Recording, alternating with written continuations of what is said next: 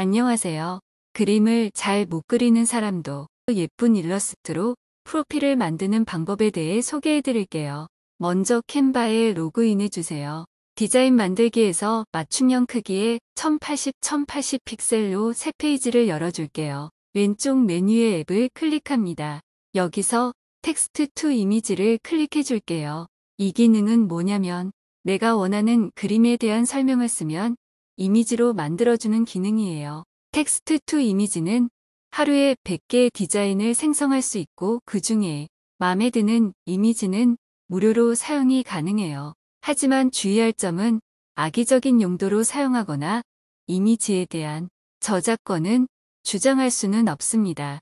그래서 개인적인 프로필에 사용을 하거나 내가 판매하고 있는 제품에 이미지를 응용하는 정도는 괜찮아요. 그럼 그리고 싶은 이미지에 대한 설명을 써볼게요. 저는 노트북을 하고 있는 긴 머리의 여성을 그림으로 그리고 싶어서 이렇게 작성해 봤어요. 이미지 만들기를 클릭하면 4장의 그림을 보여주는데요. 내가 생각했던 느낌이 아닐 수도 있어요. 그러면 다시 만들기를 클릭해 주시면 됩니다. 다시 만들어 볼게요. 마음에 드는 느낌의 이미지가 나올 때까지 다시 만들기를 해주시면 되는데요. 하루에 100개만 가능하다고 했죠. 그래서 짧은 시간에 원하는 이미지를 얻을 수 있는 팁을 알려드릴게요. 첫 번째 팁은 글을 조금 더 구체적으로 바꿔주는 거예요. 저도 수정을 해볼게요. 수정을 하고 다시 만들기를 클릭했더니 이번에는 전혀 다른 느낌의 사진이 나왔네요. 제가 쓴 내용을 보니까 일러스트라는 말이 빠졌어요. 그래서 다시 만들어 볼게요. 제가 원하는 느낌에 가까운 느낌이 되어가는 것 같네요. 다시 만들기를 해보니 아까보다 더 분위기가 점점 맞춰졌어요. 이미지를 빠른 시간에 내가 원하는 느낌으로 생성하기 위해서 두 번째 팁은 내용을 영어로 기재하는 거예요. 팝하고에서 내용을 좀 더 구체적으로 써주고 영어로 번역을 해서 이미지 생성해 줄게요. 이번에는 좀 더 제가 원하는 의도에 맞게 이미지가 만들어졌어요. 이거 한 장을 옆으로 빼놓을게요. 세 번째 팁은 원하는 스타일을 적용하는 거예요. 아래 보시면 스타일을 적용할 수 있는 메뉴가 있는데요. 포토그래피, 디지털 아트, 미술 등 다양한 방법으로 이미지 생성이 가능해요. 일본 애니메이션을 클릭하고 이미지를 만들어 볼게요. 이렇게 만들어졌어요. 분위기가 또 다르죠? 이번에는 미니멀리스트 느낌으로 만들게요. 또 사진이 나오긴 했는데 제가 원했던 느낌은 아니지만 이거 배경이 예뻐서 빼두고 다른 스타일도 적용해 볼게요. 저는 이번에 유쾌한 느낌으로 해봤는데요. 제가 원했던 느낌과 가장 비슷한 것 같아요. 그래서 몇 가지 더 만들어 볼게요. 필름 스타일도 괜찮은 것 같아요. 여기서는 두 장을 빼두겠습니다. 사진을 보기 쉽게 정리해주고 마지막으로 몇 장 더 볼게요. 100장이 다 만들어지면 하루 이미지 한도에 도달했다고 나와요. 하루에 100개만 가능하다고 했죠. 처음 사용하시는 분들은 만들어지는 이미지가 어떤 느낌인지 모르기 때문에 최대한 다양한 느낌을 테스트해 보시면 도움이 되실 것 같아요. 그러면 만들어진 이미지로 유튜브 프로필에 들어가는 이미지로 만들어주도록 하겠습니다. 왼쪽 요소에서 원형 프레임을 선택할게요. 이렇게 프레임을 만들어주고 그 안에 사진을 넣으면 원형으로 만들 수 있어요.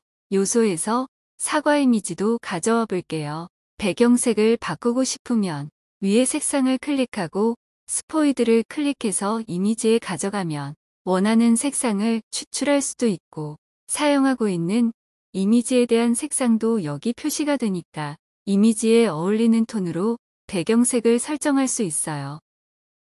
나머지 사진들도 원형으로 만들어 줄 건데요. 첫 번째 완성된 페이지를 복사해서 사용을 해주면 새로 작업할 필요 없이 같은 설정으로 이미지를 만들 수 있어요. 이렇게 복사하고 이미지만 교체해 주시면 돼요. 이렇게 다섯 장의 원형 이미지가 만들어졌습니다.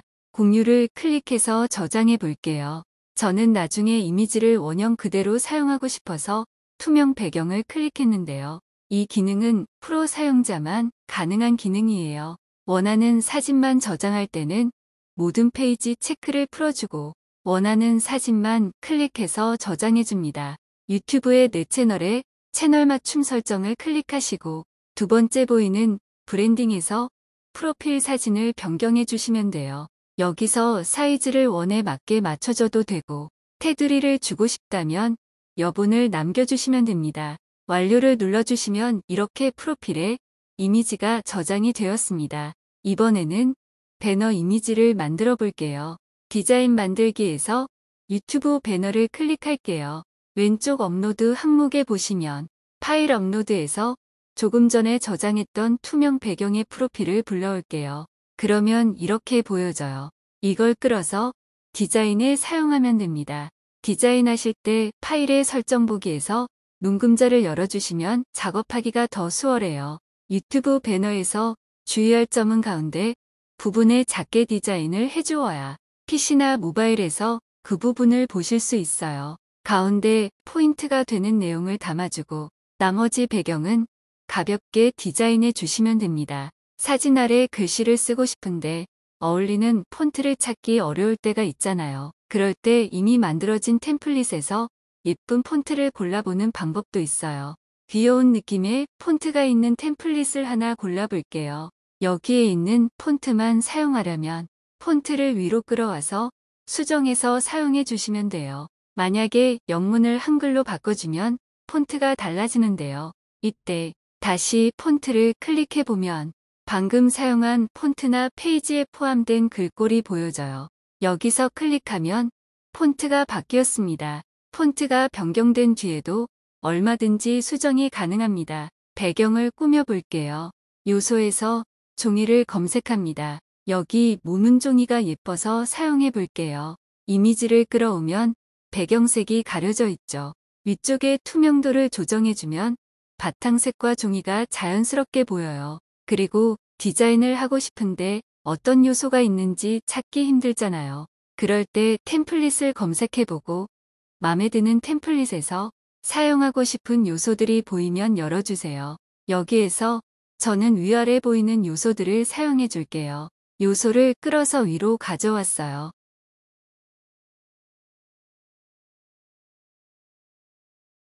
분위기도 제 디자인에 잘 어울려서 색상 변경 없이 저장해 주겠습니다.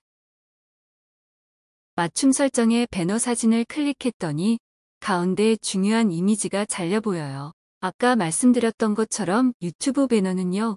모든 기기에 표시되는 부분과 TV에 표시되는 영역이 달라서 보여주고 싶은 부분은 가운데 들어가게 작업을 해주어야 해요. 가운데 있는 요소를 선택하면 자꾸 옆에 거도 같이 선택이 되잖아요.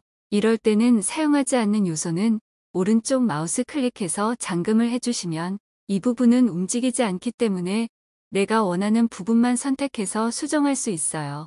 이미지와 문구를 그룹화해주고 한꺼번에 줄여줄게요. 이 페이지를 다시 저장해줍니다. 유튜브 채널 설정에서 배너를 클릭해서 저장해둔 이미지를 불러옵니다. 이렇게 영역 안에 잘 보이게 수정이 되었네요. 완료를 눌러주시고 내 채널을 열어보면 변경이 잘 되었습니다. Text to Image 만들기로 프로필 만들기와 배너를 만들고 설정해 보았습니다. 유익하셨다면 구독, 좋아요 눌러주세요.